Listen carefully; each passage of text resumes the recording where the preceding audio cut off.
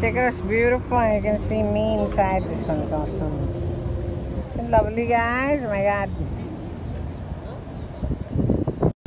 And see the funny mirror? My god, look like giant face and all.